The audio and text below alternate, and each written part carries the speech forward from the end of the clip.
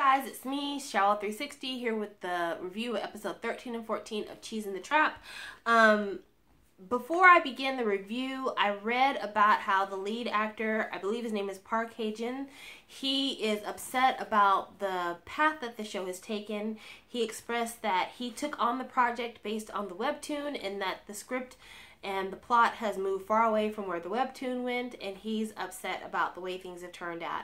Now, I've told you guys from the very beginning I've never read the webtoon. I don't know anything about the webtoon other than the fact that it is called Cheese in the Trap. Uh, but that being said, I find the timing of him talking about this to be very suspect because here we are literally the end of the run and he's finally coming up and saying, "Oh yeah, I don't like the way things are going." You should have said that way back when you saw there was a problem. Because he claims that like the introduction of the part-time job is what messed everything up. And that was kind of when his screen time started to be diminished. So you have to wonder is it an actor's vanity that's causing him to speak out now? Or did they really start to stray away from the original plot at the time that they assigned him with the part-time job. I don't really know. I can't say, but if you have read the webtoon and you see the difference, I would love to hear from you in the comments section because this is an area where I don't really have information or insight and I'm very curious about that. So I wanted to put that forward before we continue on with the rest of the episode. So in this episode, um, Baekhyun is kind of recovering from the whole fight with Yoo Jung and he's having to recover from a lot because not only did he have to recover the fact that, you know, his face is looking all fucked up.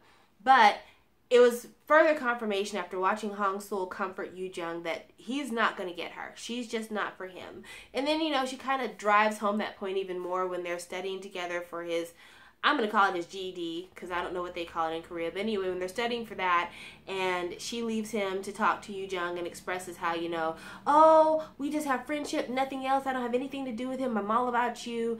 He's like, yeah, she she'll never be mine. Along with this struggle, he has another struggle too. Um, before he came to Seoul, at the very beginning of the show, you might recall that he had a friend who was like, the boss is looking for you. Turns out that Baekhyun, before he arrived in Seoul, was a part-time street thug slash gangster, and apparently he's been accused of stealing some money from the gangsters, and the gangsters are looking for him, and they want 10 million won, which I think, according to Google, translates to about $8,000, and they want it in one week. Um, and Baekhyun's going through it because when he goes home to try to look for this money because he's ready to pay these guys off and be free, um, his money is gone. He had an emergency fund that he was saving. He had it hidden inside Hong Sul's piano books, which that was a really stupid place to put that money. But anyway, the money's gone. Baekhyun has spent it. Um, he doesn't have much money in the bank, and so he spends the entire episode trying to find this money and deal with his financial issues, deal with kind of his interpersonal problems, the whole Hong Sul being uncomfortable around him thing. All this stuff is going on with Baekhyun, and so he's just, he's a mess. He is a mess. And I'm going to get into um, more of his mess a little bit later, but I want to go back to Hong Sul.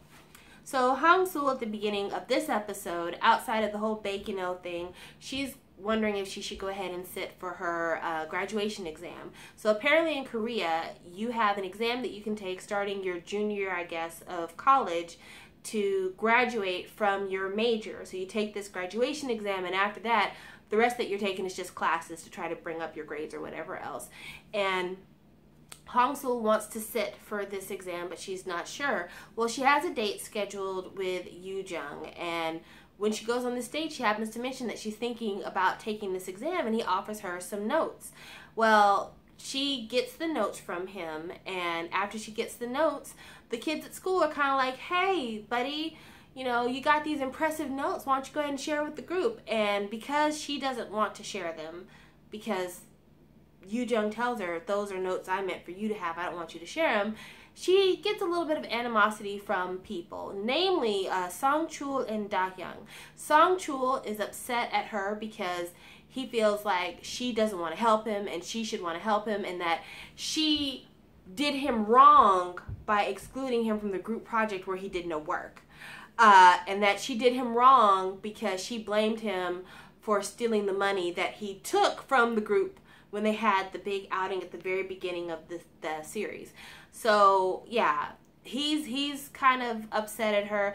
Da Young, of course, is trying to like cozy up to her and be buddy buddy, but then she overhears them saying, you know, nobody likes Hong Sul, and she thinks she's all that because she's dating Yu Jung. So, you know, she's dealing with those problems at work as well. Um, before she went on her date with Yu Jung, and I just want to put this out there because I found this very interesting. Before she went on her date with Yu Jung, she was confronted by Baek I was kind of like, you know, you think that you're all that, but you're just a passing fad, and eventually Yu Jung's going to be through with you, so you need to find out whether or not you're tough enough to hang with him. And Baek I goes to try to hit her, and before she can hit her, Hong Sul's nose starts spontaneously bleeding. And I bring this up because there's another incident where Hong Sul isn't touched, but she's injured anyway. And I found this to be a weird contrast from the beginning of the season when she was like really being injured, but I mean, maybe her injuries weren't that severe. Um, because if you recall at the beginning of the series she got cut by the homeless guy um, she got attacked by the panty stalker and thrown down the stairs but now like even the threat of a fight, it like makes her go into immediate, immediate kind of like overreaction because like literally out of nowhere her nose starts bleeding. Um, same thing. Um, Hong, Song Chul later on threatens her and he raises his fist and she falls to the ground of her own volition, scrapes her hands all up. So I, I thought that was weird that she's now being injured by imagined threats.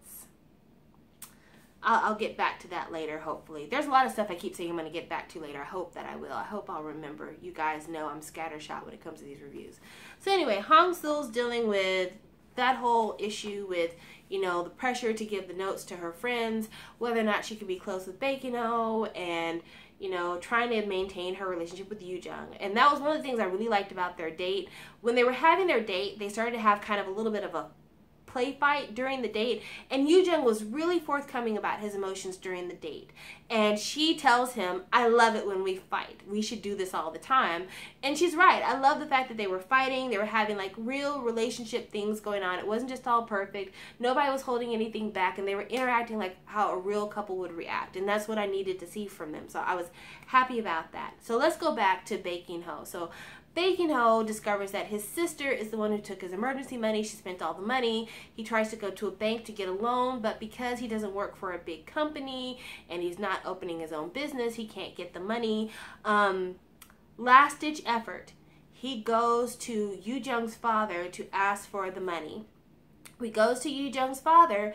Yu Jung's father immediately like starts to tell him off. He's like, you know what? I'm tired of your feud with my son, and I've taken care of you and your sister, and I'm tired of you guys, you know, eating off us and everything else. And in order for you to understand how heartbreaking that scene is, you have to go back to last week's review and about the way that back in high school, Yu Jung's father offered to adopt the Baek siblings. So to go from a man who offers to make you a part of his family and then for him to be like i've done enough for you. I'm tired of taking care of you like you're not family. That's really difficult. And Baek In-ho comes to a realization that maybe is the same realization that Yu Jung came up with several years ago. You don't really want to adopt me or you didn't really want to adopt me because you loved me. You just wanted me and my sister to be caretakers for your son. I, I never really mattered like that to you and it's heartbreaking because he's a guy who doesn't really belong to anybody. I mean, his one blood relative that we see, they're not close, and she doesn't really care for him.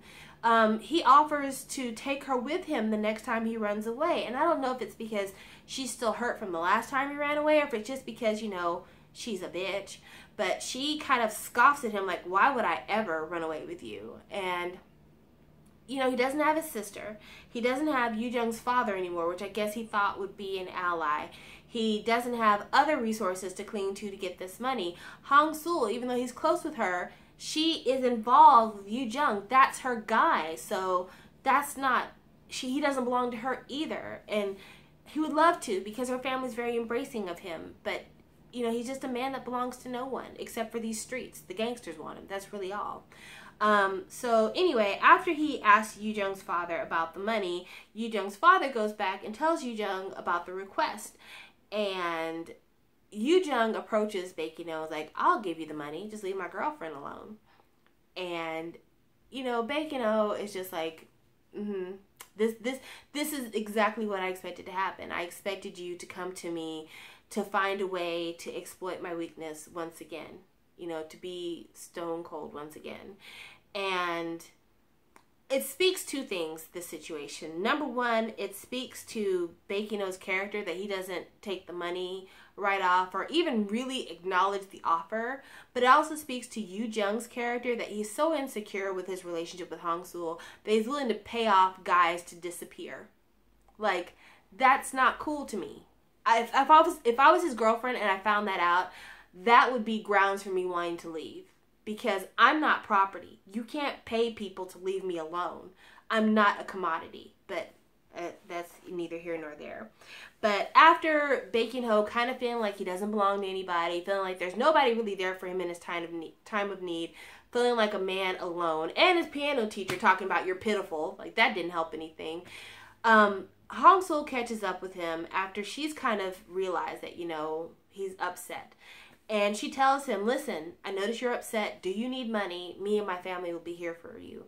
Now, he doesn't take the money, but he hugs her. And after all of the turmoil he's had, just trying to think, how am I going to solve this problem? Not even the promise of the money is necessarily what makes him so emotional. It's the fact that somebody wants to be there for him when all the places that he thought people would be there for him, they don't exist anymore. And I think that's what makes Baek In-ho's character such a sympathetic character is because I think we all can see just how let down he's been. And he really got to his lowest point, I think, in this set of episodes. And I was really grateful for that moment. I actually cried. I, I cried tears, real tears. So, yeah, that was a good thing to see. But in the end, it turns out that he's kind of figured out a way to get himself out of this whole gangster thing, or at least we think he's figured out a way because it's all it's all very circumstantial. So he thinks what he can do is he can sell his apartment, get the seven seven million won from that, and then he's got this piano concert competition coming up that if he wins first prize, he can get 3 million from that. That'll be 10 million dollars. So he just asked the gangster, "Can you please give me a month? I am a piano prodigy." He tries he proves it to him through Google search. I can do this, just give me a month. But apparently the gangster plans to not only get this money, but also drag Baek In-ho back into the life. So I mean, we'll see how that goes. But I thought it was cool that the gangster's little sidekick, who was also Baek In-ho's friend, gave him some money. So even after it's all said and done, he does have people in his corner because he's a lovable guy. So Baekhyun's practicing for this piano competition, but he's starting to notice his hand is injured. We don't ever see him go to the hospital to get his hand checked out. Lord, I hope his hand is okay. We only got two episodes left. I just need him to get this money. Please let him get this money. But yeah, um, things start to look up once we get to episode 14. Even the whole thing with Hong Sul. He goes to Hong Sul and explains to her, you know, I do have these feelings for you, but I'm going to resolve them in a month. And when he says he's going to resolve them in a month, what he basically means is, I'm going to be out of here in a month anyway, so don't worry about it. Because he plans to get this gangster paid off and then disappear, which I, I totally see why you do that. That that would be my plan as well. Um, so let's go back to Hong Sul. Uh, Hong Sul finds out about how people don't really like her, and so she's like, I'm not going to give the notes to anybody. Well, she's in class talking with Bora, and they leave class to do something. Her notes are on her desk. When she comes back, the notes disappear. Initially, we see Da Young eyeing Hong Sul's stuff before she leaves, and when she comes back, the notes are gone. So the first thing you think is, oh yeah, Da Young did this. And then when Da Young is looking kind of, you know, I-, I didn't do it. I saw Song Chul hanging out. You tend to not believe her because she's been such a bitch so far. Um, and then when they confront Song Chul, of course, he says he doesn't have it, you know, whatever. So it seems like maybe Da Young was lying and she's the one who stole it. But it turns out she was telling the truth. Song Chul stole the notes. He stole the notes for the fourth year exam and he passed the exam. And then he's drunk the night that he passes with the top scores in the class. And while he's drinking, he pulls Da Young aside and pulls out the notes that he stole. So Hong Sul confronts him about it, like, those weren't yours, those were mine, you shouldn't have stolen them. And he's like, I wouldn't have had to steal them if you had given them to me, and you're the one who's doing me wrong because you keep catching me in my faults. And long story short, she's about to get her ass whooped, but Baek In-ho shows up in the nick of time. Well, of course, Yu Jung gets to hear about this, and Yu Jung if he's willing to pay off a guy to just not hang out with his girlfriend anymore, if you actually do something to his girlfriend, there's going to be hell to pay. So he comes up with a trap for Song Chul. And while I'm all for people getting their comeuppance, I thought that this trap was cruel. Song Chul passes the exam and he gets an interview for a permanent position at a company, I think it's the Sunju company. But he had applied at Taerong, which is where Yu Jung's family owns everything. Somehow or another, Yu Jung manipulates it to get Song Chul an interview with Taerong on the same day as the Sunju interview. And because he's so cunning and clever, he's able to trick Song Chul into kind of believing, hey guy, I'm an intern there. I got the inside scoop. I can help you out. So Song Chul abandons the interview for Sunju to go to the Taerong interview and because Yu Jung was his coach, because you know Song Chul's not studying nothing, he's coached into studying in a completely wrong way, gets completely bad notes, totally bombs the interview, gets drunk, and Hong Sul sees him. Now, Hong Sul knew about the interview. She knew about the interview after he stole it. She knew that Yu Jung. She knew that Yu Jung knew that Song Chul had an interview on the same day as the Sunju interview. Song Chul gets drunk after bombing the interview, brings Hong Sul into the restaurant. Jae Woo and Baek In-ha show up. How coincidental is that? And Baek In-ha listens to everything and she realizes Yu Jung has set this boy up. Not only that, but Hong Sul knows that Yu Jung has set this boy up. And she tells it. She tells it all. She does not hold her tongue. She's like, I know you set him up. I know exactly what happened. And Hong Sul, you knew he did it you knew it was coming. And uh, Sang Chul is like, I'm gonna kill. I'm gonna kill Yu Jung. I'm going to literally kill him. Shows up at Taerong the next day and is ready to kill him. Not only does he threaten to kill him in front of everybody, but he also outs Yu Jung because nobody knew that Yu Jung was the CEO's son. So after doing that, Hong Sul shows up at Yu Jung's office because she, I guess she wanted to talk to him about the Song Chul thing. And when she shows up, she sees Yu Jung threatening Song Chul with everything. And I mean, he is cold blooded. Like, I was actually surprised when he appeared because the security guards had thrown Song Chul out. Here comes Yu Jung like a thief in the fucking night. You didn't see him coming, It's all of a sudden, whoom, they're in a corner in Tusslan. And Hong Sul sees this, and instead of being like, you're creepy as fuck, I can't believe I stood by and let you do something like this. I'm out of here. Instead, she holds him and says, I understand you. You don't have to say anything. I get why you did it. And I want you to know I won't ever run away. I won't ever run away. My gosh. Girl. Okay. Looking back at the story, the man that you love from what we can assume, tried to set you up with a guy who turned out to be a stalker. Um, he ended up losing this other guy who wasn't a great guy, but he ended up losing this guy an opportunity on a job when he really needs it.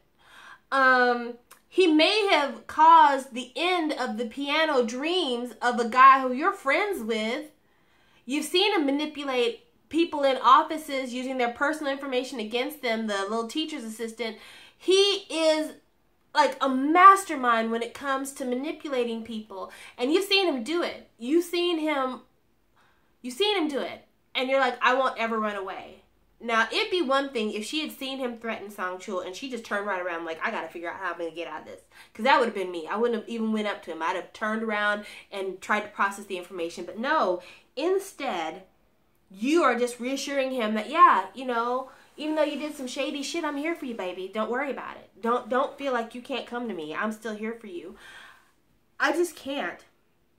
I just can't. And I told you I would talk about um, Hong Sool's injuries and how she keeps getting injured with implied threats. Like it doesn't actually happen, or at least not to the, the scope that she expected to happen, but you know, when she thought Song Chul was going to hit her, she fell to the ground skinned up her hands.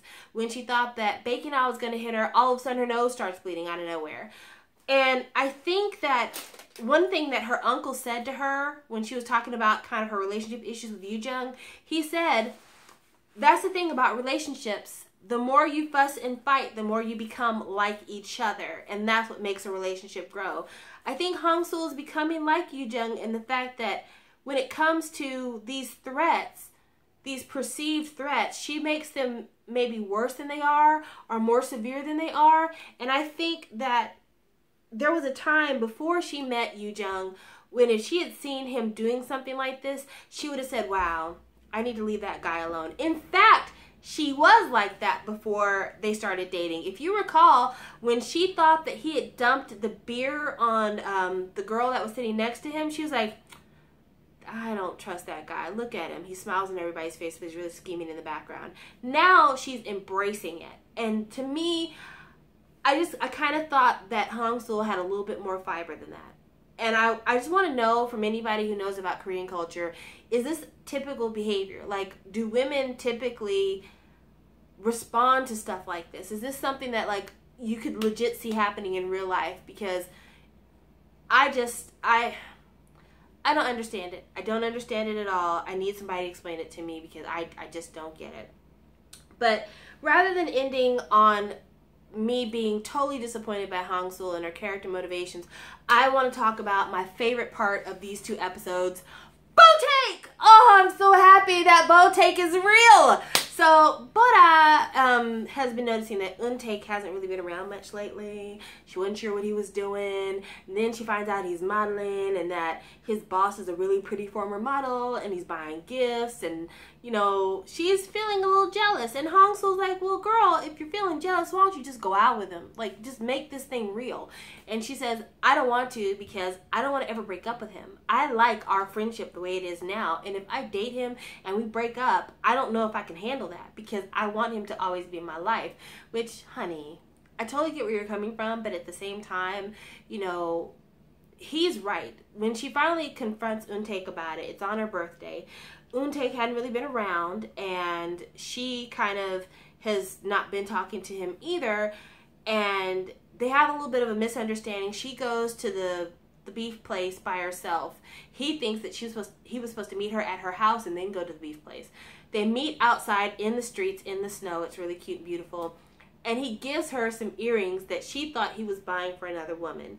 And he tells her, "Listen, if you're not going to date me, like I want to date you, you know I want to date you, you know I like you. If you're not going to date me, you have to expect that eventually I'm going to be with another woman. Just like I have to accept the reality that if you're not going to date me, eventually I'm going to see you with another man. And of course, she tells him, you know, this is the reason why I don't want to date you because I don't want to ever have us not be together. And he tells her, listen, I promise if you date me, I won't ever get sick. I won't even die without your permission. Just just date me. And I just like, oh, these two. Y'all y'all are the real OTP. Botaek for life. Baked Botaekos. I just, I really love them. I just think they're the best. I think they're the best. But yeah, I wanted to end on a positive note because when it comes to Hong Sool, one of the things that Baek In-ha said to her, which I guess sums it all up, is like, you know, did you really know nothing or did you pretend not to know anything when it came to the setup of Song Chul? And it's all about agency. It is all about agency. And that to me has been a running theme throughout a lot of these characters' interactions. Um, there's a lot of blaming and there's a lot of assigning people roles as victims and victimizers. And Song Chul is one of those ones that he never really took agency for the problems in his life. Hong Sool felt like she had no agency, that people were running her. Yu Jung creates agency on, in matters, or it really probably is even none of his business. And Baek In-ho is somebody who legitimately really doesn't have any agency, but continues to try to create it for himself. And I feel like, if nothing else from this whole series, because the series is not over, but one of the overwhelming things that I've I've noticed in this series, besides like a lot of the psychological explorations, is you know, at some point in the trap, you have to determine are you the mouse or are you the one that's setting the trap? And if you are the mouse, do you have to go for the cheese? Because that's the thing. With the Song Chul trap, he didn't have to go to the interview at Taerong. He could have said, you know what, I know I'm vastly underqualified for this position even if I have somebody helping me, once I get on this job, they'll know I'm underqualified and I'll probably end up losing this job anyway. So I don't have to go to this interview. And he could have totally foiled Yu Jung just by saying, you know what, thank you for helping me out, but I'm actually going to go over to this Sunju interview. I'm going to make that happen. Could have done that, but he didn't. Same thing with Hong Sul. I've said multiple times things she could have done, but she didn't. But definitely, it is about, you know, what role do you have in the trap and do you have to take the cheese? Anyway, that was my review of episode 13 and 14. I know this was a really long, rambling, kind of pointless review, but I hope that you enjoyed it because I'm not going to be retaping this. And I promise you this weekend we will do the reviews for episodes 15 and 16. But before we get there, be thinking about what our next drama is going to be because there's a lot of dramas out there to watch. Onew from SHINee, which is my bias group, um, is in a drama called Descendants of the Sun. I wouldn't mind watching that. Um, Rain, who is my ultimate bias in all of K-pop, has got a drama called Comeback Mister. I wouldn't mind watching that. Um, Bacon, IU, and a bunch of other people have a drama coming up. I don't remember the name of it, but that's probably going to be a good one to watch. I'm sure everybody's going to be watching it. And then I know that Minho and V from BTS either they have a drama or a movie coming out. I can't recall exactly, but these are all options along with other stuff that's coming out at the same time. So if you have any ideas of what our next thing should be, let me know because like I said, we got one more week and then we're out of here. So yeah, there you go. Thank you guys so much for watching and if it wasn't for you, if it wasn't for you, I wouldn't even finish this series, but we made it this far. Can't give up now. I have to take some agency in this situation. All right, then. I'll talk to y'all later. Bye.